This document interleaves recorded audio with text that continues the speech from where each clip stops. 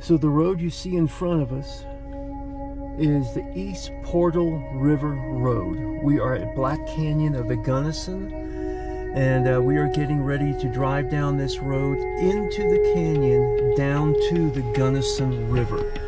So here we go. Stream grades and sharp curves next five miles.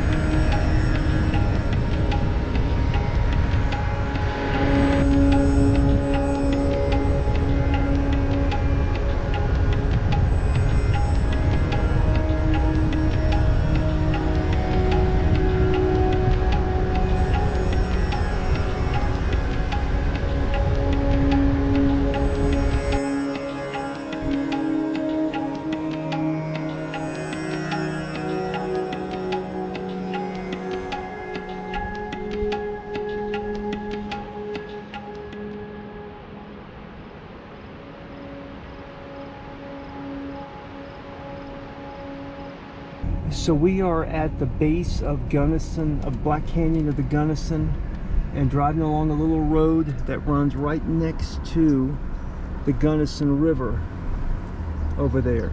And we're heading um, sort of southeast. We're going towards the dam that forms the um, the Blue Mesa uh, Lake. And so we're going to head up that way.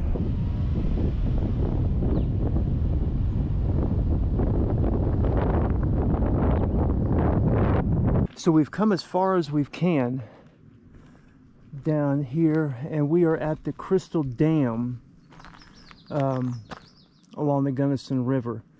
Uh, I'm going to take a picture of this so we can get a little more uh, information off of it, but it looks like there is a power plant, uh, 31,000 kilowatt capacity power plant.